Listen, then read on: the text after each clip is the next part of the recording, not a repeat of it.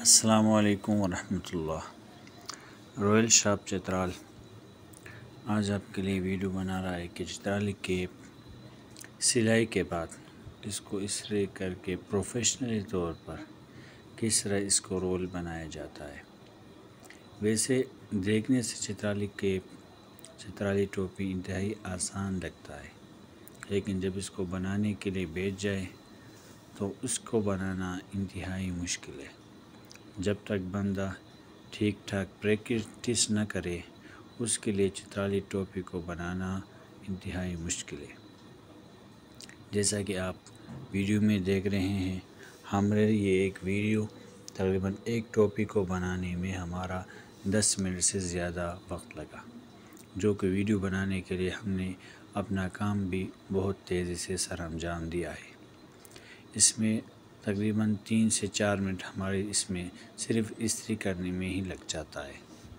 क्योंकि हम इसको जो चिताली टोपी हम बना रहे हैं, इंतहाई हाई क्वालिटी हाई क्लास बेहतरीन फिनिशिंग के साथ हमारी टोपी, चिताली टोपी बन रही है। वीडियो में आप देख रहे हैं कि चिताली टोपी में काम मुसलसल जारी है। इस रे मुकम्मल करने के बाद अभी हमने चिताली टोपी को की रोलिंग शुरू कर दी है।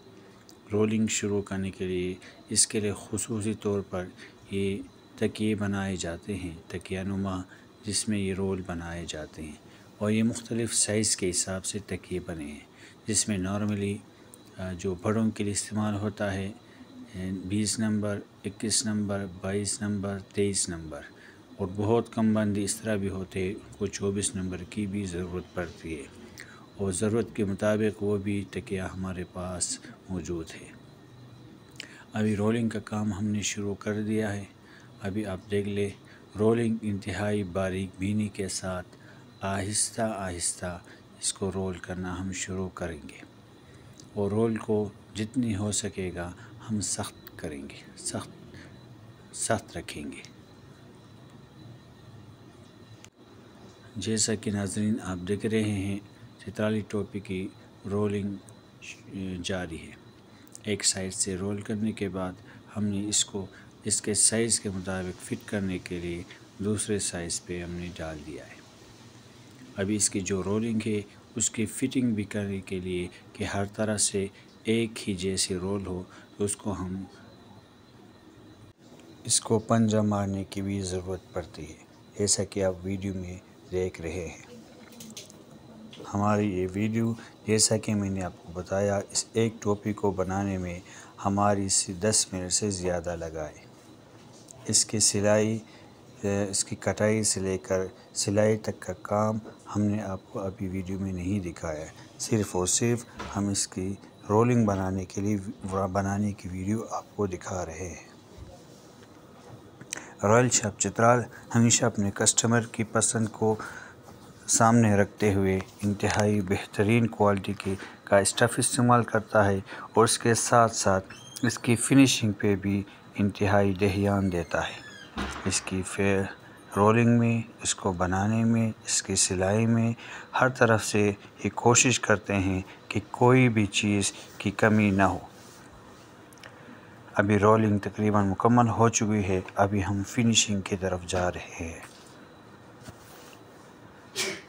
जैसा कि वीडियो में आप देख रहे हैं, अगर आप भी प्रोफेशनली तौर पर चित्राली टोपी की रोलिंग बनाना चाहते हैं तो इसको स्टेप बाय स्टेप आप इसको फॉलो भी कर सकते हैं।